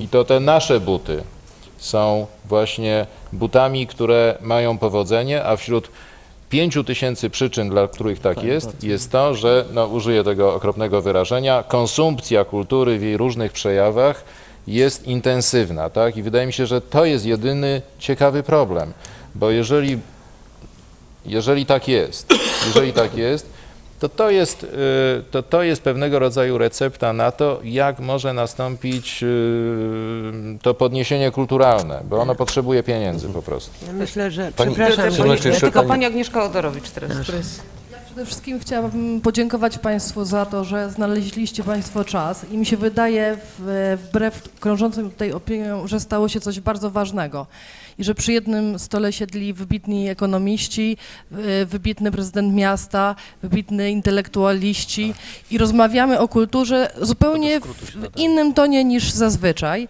I chciałabym też powiedzieć, że rozmawiamy na obywatelskim kongresie kultury, czyli na spotkaniu, na który ani państwo, ani samorząd nie wydał milionów złotych, który powstał kompletnie bez pieniędzy, zorganizowany przez trzy miesiące przez y, grupę ludzi, która zapragnęła wziąć sprawę w swoje ręce i więcej. Okazało się, że w państwie są tacy ministrowie jak pan Michał Boni, którzy są gotowi do rozmowy z obywatelami kultury. Co to w ogóle jest obywatel kultury? Przecież to nie ma osobowości prawnej, nie ma siedziby, nie ma NIP-u, PIN-u ani innych y, potrzebnych numerków, a jednak okazało się, że y, po raz pierwszy od dawien dawna państwo polskie ze swoimi strukturami zdecydowało się taki dialog z obywatelami podjąć. I to, że my się tutaj dzisiaj spotykamy i to właśnie w takim gronie na Obywatelskim Kongresie Kultury jest dowodem na to, że coś zmieniło się w dialogu o kulturze. Może dalej będzie za dużo słów e, ekonomicznych, może dalej będzie za dużo jakby pułapek intelektualnych zastawionych wobec różnego słownika, którym się posługujemy. Ale ja myślę, że st- stało się coś bardzo fajnego i miejmy nadzieję, że, że jutro będziemy Państwa mogli zaprosić do Muzeum Narodowego e, o godzinie uroczystość. 11, nie, Muzeum Narodowego godzinie 11 na być może podpisanie paktu dla kultury, czyli pierwszej od bardzo dawna umowy społecznej pomiędzy rządem a obywatelami, która dotyczy kultury, edukacji i nauki, bo tak chcielibyśmy widzieć dzisiaj e, rozwój kultury, rozwój społeczny i wzrost kapitału społecznego. Dziękuję. Bardzo proszę. No, potem. Ja muszę powiedzieć, że jestem dość zmęczony takim rozmawianiem o kulturze w kontekście opłacalności, że my, y, ludzie kultury, udowadniamy politykom, że kultura się opłaca. To mi trochę przypomina takie obłaskawianie bestii, że oto rozmawiamy ze smokiem, przestań pożerać dziewicę, owsianka jest dużo bardziej Pożywna. e, pożywna. E, podczas gdy to jest kompletnie fałszywy język. E, I oczywiście, że kultura przy okazji się, e, się opłaca, ale tak jak niemożliwe jest w współczesnej Polsce pytanie, ile kosztuje niepodległość i czy stać nas na niepodległość, tak niepo, niemożliwe powinno być pytanie, czy stać nas na kulturę. Bo jeśli przetrwaliśmy jako Polacy, to nie ze względu na e, reformy gospodarcze Wielopolskiego, tylko ze, skądinąd bardzo chwalebne i zakończone sukcesem, ale raczej ze względu na kulturę. I teraz pytanie buty czy Szekspir rozumiem w kontekście e, współczesnym w taki oto sposób. To nie jest oczywiście pytanie, czy kulturalny, wyedukowany i posiadający odpowiednie zasoby finansowe człowiek wybiera buty czy Szekspira, bo tu wszyscy są w butach i wszyscy czytali Szekspira. Chodzi o co innego, że e, niestety we współczesnym społeczeństwie, 20 lat po odzyskaniu niepodległości, stajemy wobec kilku nakładających się na siebie sfer wykluczeń. Wykluczenia kompetencyjnego, wykluczenia cyfrowego, wykluczenia językowego, bo jeżeli mniej niż połowa ludzi w Polsce e, Czyta. rozumie najprostsze wiadomości przekazywane w dzienniku, to już jest to wykluczenie językowe. Pojawia się wykluczenie kulturowe i e, pojawia się za chwilę wykluczenie także pewnej świadomości historii, no bo w poprzednim panelu była dyskusja na temat tradycji i chciało się powiedzieć, z- że znajomość tradycji jest kluczowa, ale jak mieć tą znajomość tradycji, jeśli się likwiduje nauczanie historii powyżej e, e, nastolatka, prawda? Już w ostatnich latach w szkole się w ogóle historii nie naucza. Więc te e, sfery wykluczenia to jest coś, czym się państwo zająć musi. I dopiero wtedy, Mamy kiedy państwo, kiedy wykluczeń. państwo zajmie się, ja mówię o sprawach poważnych, a nie o kabarecie. E, jeżeli państwo zacznie się zajmować na serio i systemowo, to o czym mówił Andrzej Mencfel, czyli rozumiejąc, nazwijmy to nawet kapitał społeczny, że to jest cała sfera kapitału społecznego, jeżeli państwo zacznie się tym zajmować systemowo, to wtedy dopiero pytanie Buty czy Szekspir straci sens. A póki nie ma takiego całościowego e, planu działania, to to pytanie niestety jest aktualne. Pan minister, pan prezes Belka musi nas za chwileczkę opuścić, także pytanie do, powiemy, że pan ma pociąg. Pytanie do pana, czy pan chce jeszcze Pociąg na do koniec? Pociąg Do do, kultury. Łodzi. Do, Do kulturalnej w Łodzi. Czy pan jeszcze chciałby się tutaj? Nie. To bardzo, bardzo prosimy. też symptomatycznie. Jacek Bromski. E, Buty czy Szekspir, ja ro- rozumiem to w ten sposób, że my wszyscy wiemy już, całe społeczeństwo wie, że buty są nam potrzebne, natomiast nie wszyscy wiedzą, e, że Szekspir jest nam potrzebny. I jaki jest obowiązek państwa wobec tego, wobec własnego społeczeństwa? To taki, żeby ten Szekspir był na półce. Mimo, że jeszcze być może nie ma podaży na Szekspira, może jeszcze nie wszyscy chcą go czytać czy konsumować ale on musi być. Czyli państwo bez względu na to, nie zastanawiając się na to, czy to jest opłacalne, czy komuś to potrzebne, czy nie, ma obowiązek zapewnić istnienie tej kultury, istnienie do tego czasu, aż większość społeczeństwa sobie da sprawę, że, że ta kultura jest niezbędna. Te społeczeństwa, o którym mówiła pani, pani Rottenberg, one się, tam się wytworzył pewnego rodzaju szlachetny snobizm, który kiedyś w Polsce też kiedyś był snobizm na kulturę. Czyli nawet ludzie, którzy nie, nie mieli bezpośredniej potrzeby uczestnictwa w tej kulturze, w jakimś sensie wstydzili się do tego przyznać. Co się dzieje w Stanach Zjednoczonych? Państwo tę kulturę finansuje, ale nie bezpośrednio, tylko stopniu. pośrednio, poprzez odpisy podatkowe. Państwo pozwala obywatelom wybrać, na co oni mają przeznaczyć tę część podatków, którą nie zapłacą państwu.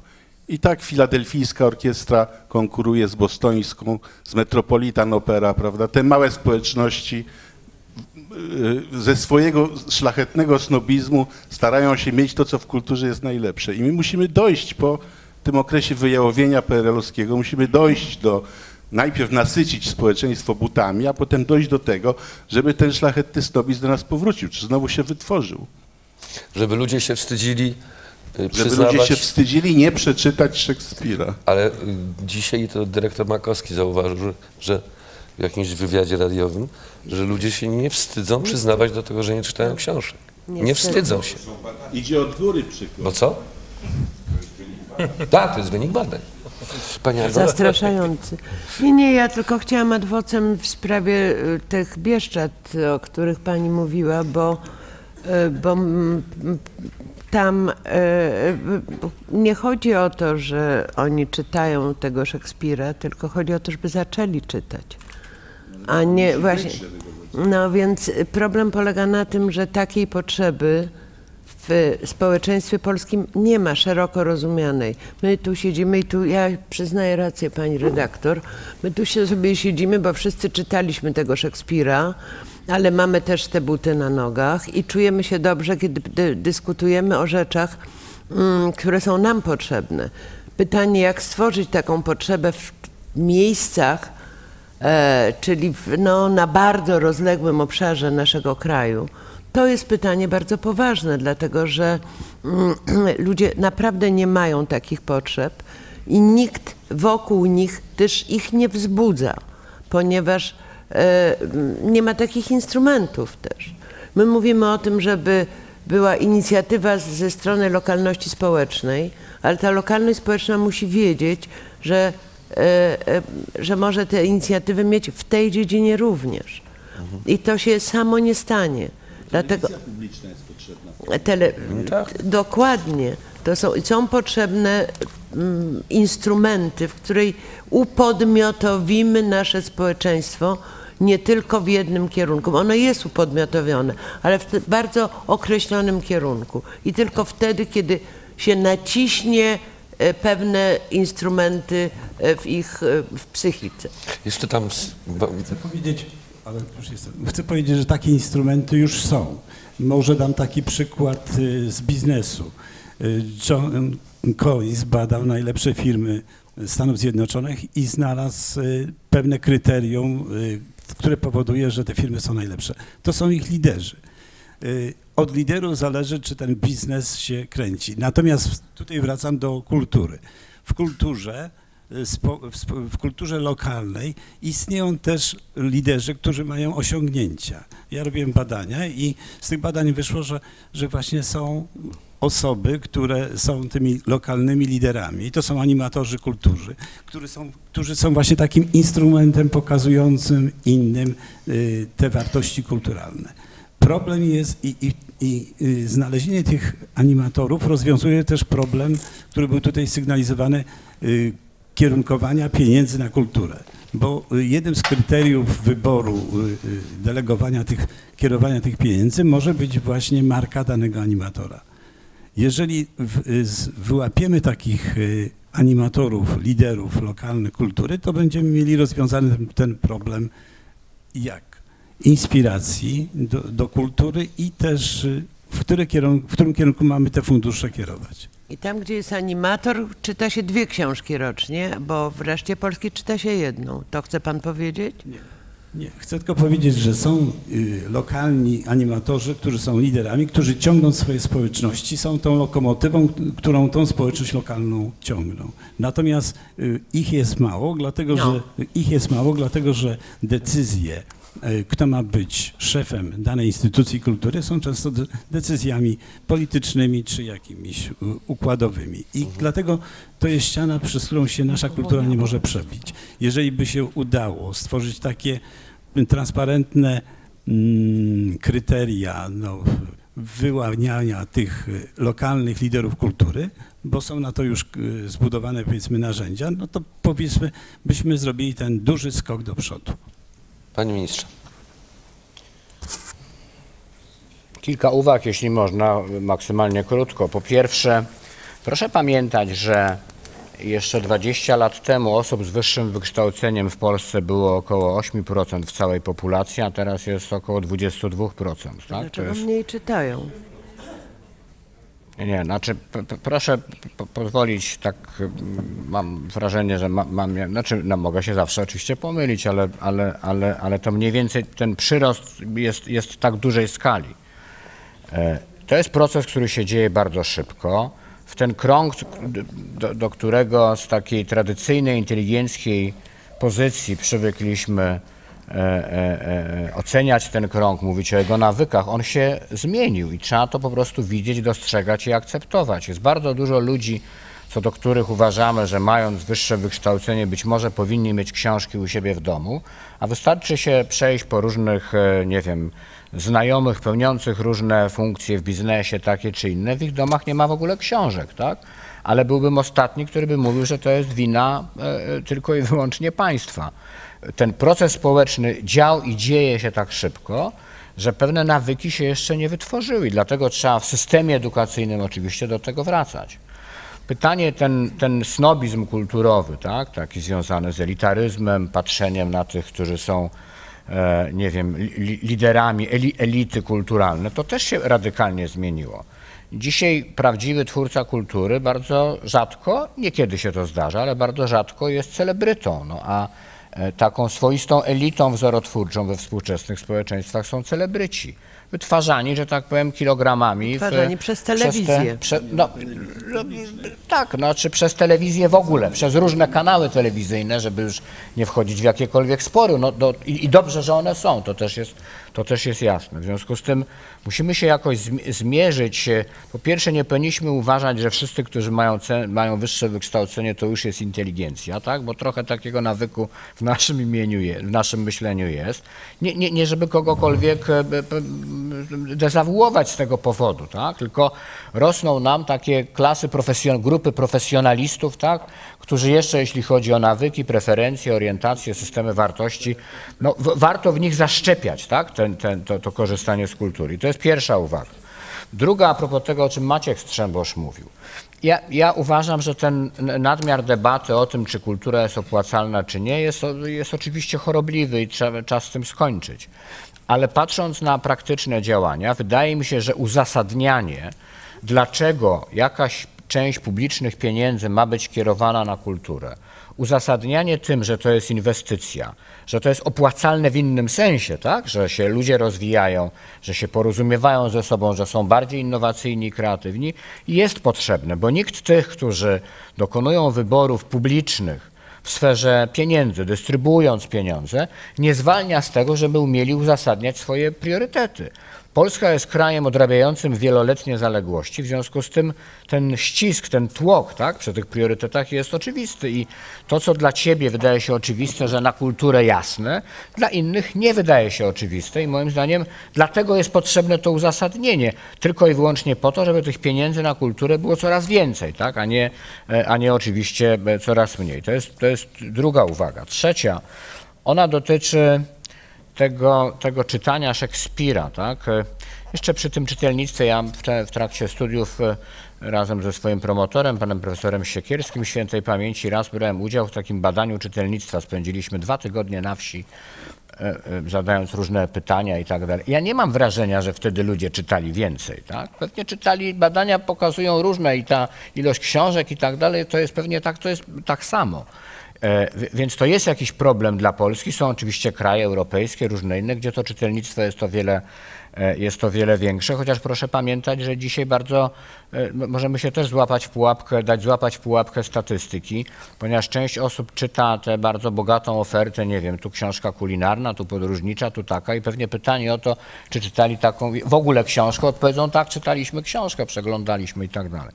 To co ważne, że e, ta kwestia tego dostępu, uważam, że ten Szekspir powinien być pod każdą strzechą na każdej półce, ale chcę się nauczyć rozumieć, że być może jedna z takich przeszkód związana z tym, czy ten e, Szekspir stoi na tej półce, czy nie, może zostać pokonana wtedy, kiedy na poważnie potraktujemy ofertę świata i rzeczywistości cyfrowej.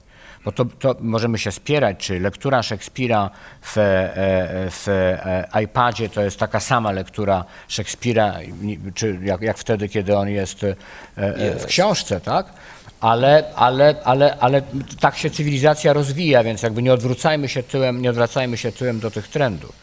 Dlaczego to mówię? Dlatego, że e, e, ta digitalizacja dziedzictwa, te, te, to upowszechnianie kultury e, w, z wykorzystaniem tych technik cyfrowych może nam przynieść o wiele większe efekty niż nam się wydaje, jeśli będzie znowu rozumnie i sensownie prowadzone w najbliższej perspektywie, to znaczy mniej więcej 5-10 latach. E, e, I, i e, no, załóżmy się tak, że jak się spotkamy na Kongresie Kultury Obywatelskim za lat 10, to być może tak, te procesy cywilizacyjne na tyle się zmienią, że będziemy mówili o szerszym uczestnictwie w kulturze. Ja nie chcę powiedzieć, że nie czytać książek, czytać tylko cyfrowo, ponieważ wolę czytać książki e, tak, jak je trzymam w ręku, tak? w, jej, w ich fizycznej, tradycyjnej postaci. Niemniej jednak musimy sobie dać radę także i z tym procesem e, wszechogarniającym, związanym z cyfryzacją, także w procesach kul- kultury i, i zmieniającym uczestnictwo w kulturze. Krzysztof Kros. Krzysztof Kraus. A potem Y, Można znaleźć bardzo prosty dowód na to, i szybki, że e, dzięki kulturze można e, kupić bardzo przyzwoite buty. Gdyby, no uciekł mi poseł, ale gdyby nie malarstwo i architektura, to Kraków byłby nową hutą. To sami widzicie, więcej nie trzeba nawet o tym mówić. Natomiast mój problem jest jeszcze troszeczkę inny. Jak mówimy o kulturze, to ja, mnie interesuje, jaka to jest kultura. Ja rozumiem, że tu na tym kongresie, w ramach tego paktu, wypracowaliśmy pewne naczynie, do którego dopiero coś e, nalejemy. I e, mój problem polega na tym, e, co tam będziemy nalewać. No, mamy dzisiaj naprawdę tak dziwnie e, ukształtowaną e, świadomość, że, przepraszam, może kogoś tu urażę, ale że no niestety mamy taką kulturę parafialną, przykościelną i, i no, no, no tak to wygląda. Jeżeli, e, ja mam doświadczenia też z biznesem, kiedy, bo poszukiwałem pieniędzy na filmy. Jeżeli to są tematy bogoojczyźniane, jest szansa, że się e, te pieniądze dostanie. Jeżeli nie, to ta szansa maleje do zera. Także mnie się wydaje, że e, e, tu by się troszkę przydało jakiegoś troszkę lewicowego, obumarłego myślenia o kulturze, bo naprawdę problem polega na tym, co będziemy do tego naczynia nalewali za rok czy za dwa. bardzo proszę.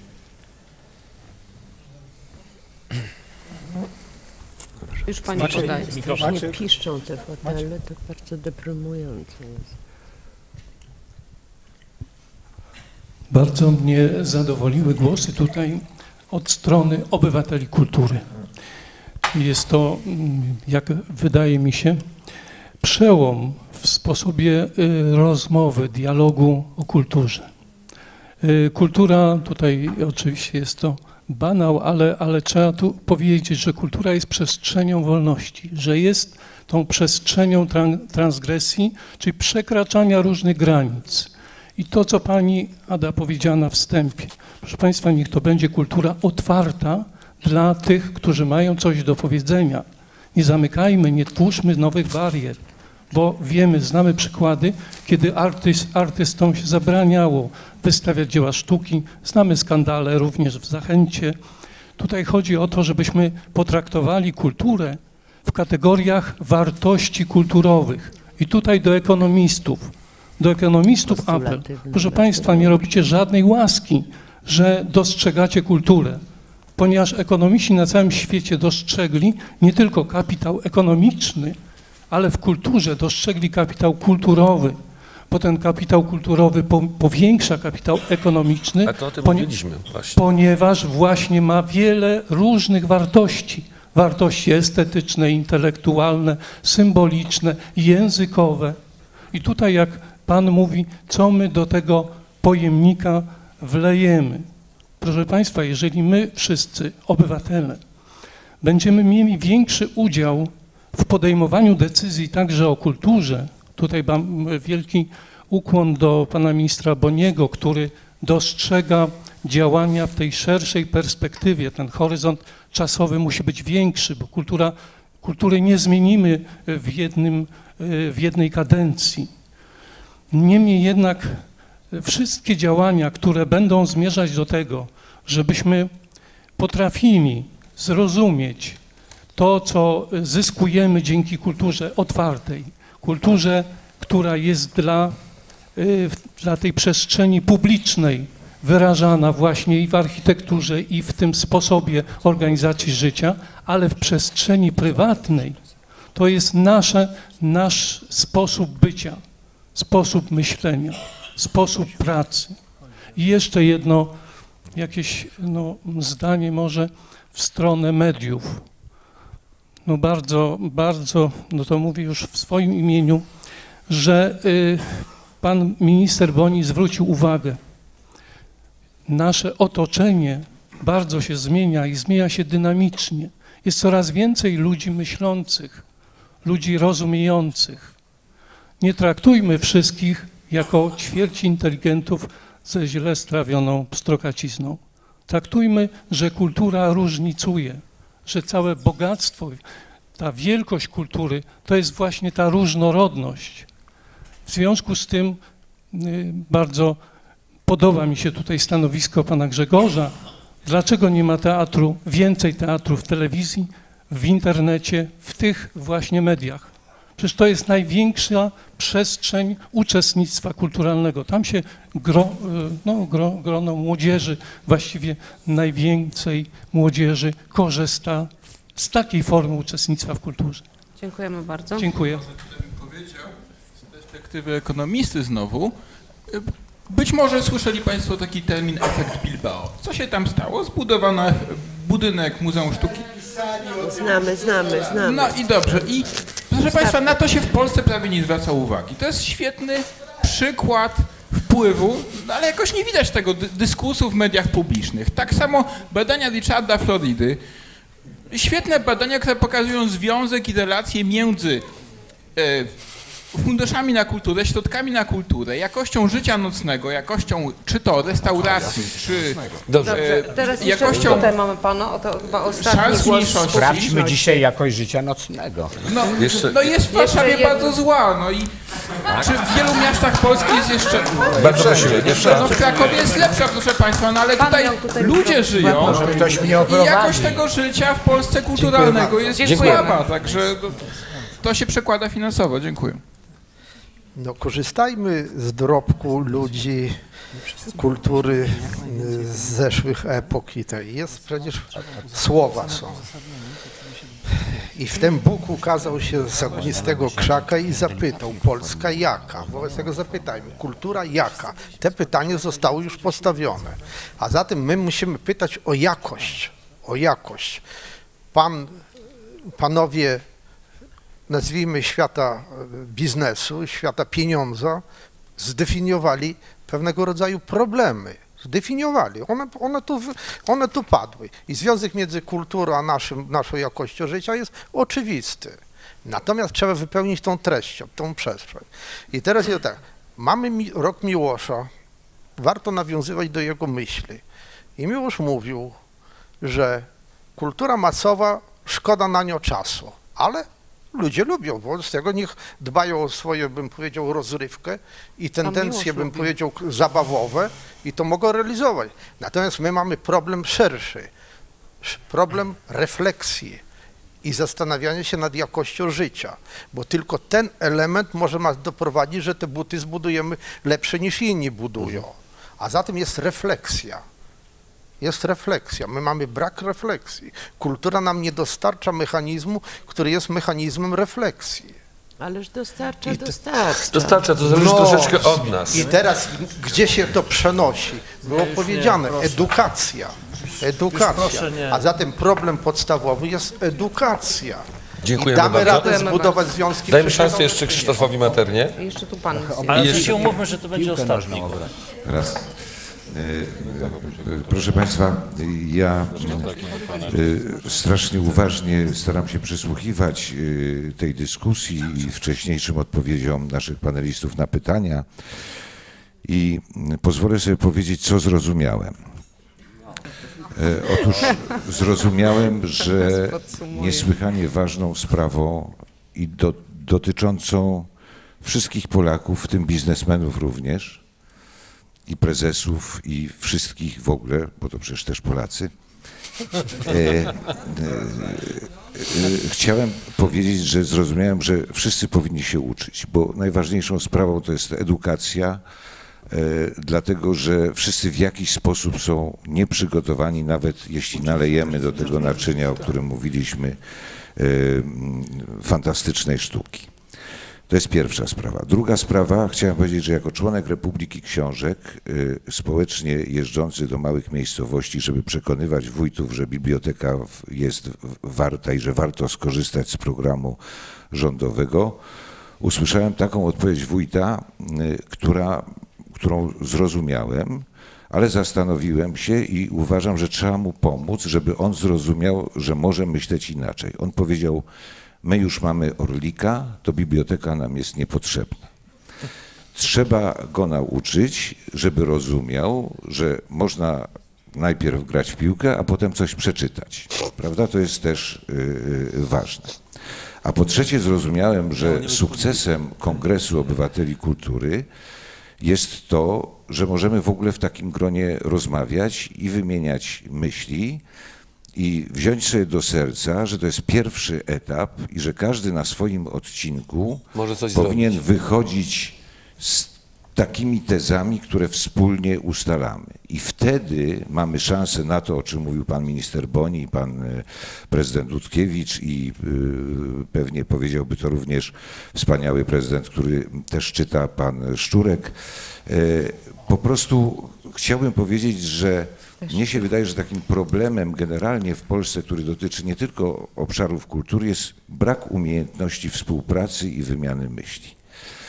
E, I to, co jest dobrem tego kongresu, jest, wydaje mi się, takim ziarenkiem, które powoduje, że jest szansa na współpracę nie w oddzielnych ministerstwach, tylko na współpracę wspólną i szanowaniu własnych myśli, pod warunkiem oczywiście, że one są y, pozytywnie nas rozwijające i coś zmieniające, że idziemy do przodu, a nie działamy już według ha- hasła róbmy swoje, bo to hasło nas kiedyś obowiązywało.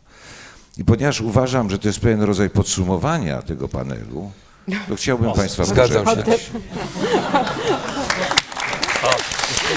Bardzo dziękujemy Krzysztofowi Maternie. Przepraszamy, że nie wszyscy, którzy chcieli zabrać głos, zabrali, ale to rzeczywiście jest najlepsza puenta, Krzysztofie.